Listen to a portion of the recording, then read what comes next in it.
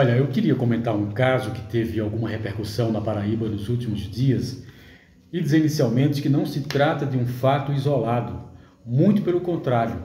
Infelizmente, tanto o poder público estadual quanto grande parte das prefeituras da Paraíba tratam a questão da saúde mental como um caso de polícia.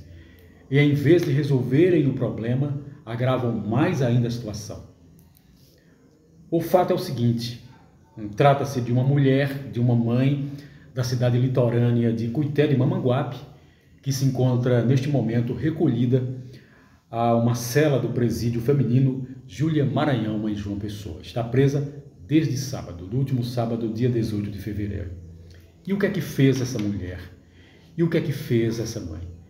Ela fez o que, o que qualquer mãe faria na sua situação e em seu lugar. Uma mãe pobre, sem qualquer apoio institucional, mãe de sete filhos, três dos quais com graves transtornos mentais. Sozinha, diante dessa situação, temendo pelas, pela vida dos filhos, porque se saíssem poderiam não voltar, poderiam sim não voltar ou não voltarem vivos. Ela mantinha os filhos, uma criança de 11 anos e dois jovens, um de 18 e outro de 19 anos, presos dentro de casa. Sabe por que ela fez isso? Porque as instituições, as instituições públicas falharam primeiro, foram negligentes primeiro. A prefeitura de, de Cuité de Mamanguape e todos os seus órgãos responsáveis pela proteção da família, pela proteção social e pela saúde. O poder público estadual e os seus diversos órgãos responsáveis pela proteção da família, pela proteção social, pela questão da saúde. Todos foram falhos, todos. Inclusive o Conselho Tutelar, o Ministério Público, todas as instituições. A prisão dessa mulher a prisão dessa mãe, que inclusive também tem problemas mentais, é infelizmente o que o Estado oferece, é o que o Estado dá para mães nessa situação, que sozinhas, abandonadas pelo próprio poder público, não tendo outra alternativa, age dessa forma e quem chega em sua casa primeiro é a polícia. Quantos órgãos públicos não tem nesse estado e não tem naquele município. Que poderiam ter chegado bem antes. Uma cidade de pouco mais de 6 mil habitantes, todo mundo conhecia a situação dessa mulher. E todo mundo foi negligente.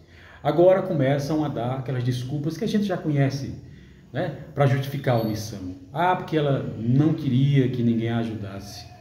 Que coisa absurda. A prisão dessa mulher, o encarceramento dessa mãe, é um atestado da falência e da desmoralização de todas as instituições desse Estado.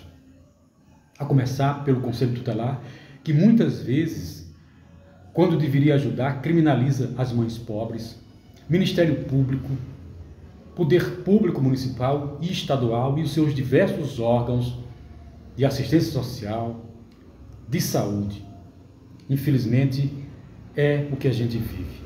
Mas, como disse outrora, não é um caso isolado. Quantas mães nesse momento, quantas mães não estão com seus filhos presos em casa, temendo que eles saiam e sejam mortos?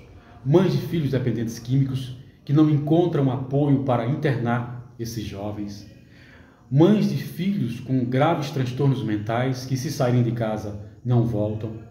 Inclusive, aqui próximo da gente, uma mãe um filho dentro de casa que há meses, há meses, é, busca uma consulta psiquiatra, psiquiátrica e não encontra no CAPS.